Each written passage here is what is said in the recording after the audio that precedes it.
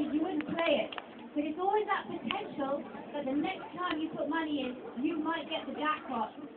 And that's how it's so addictive. When we do the same method, intermittent reinforcement with dogs, because it really encourages them to learn and really encourages them to work hard.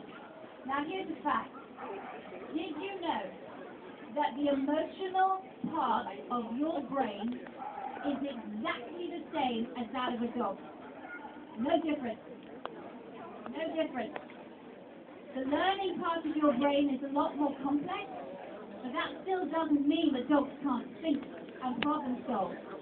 But this whole idea that we now potentially, are you crazy, share emotions,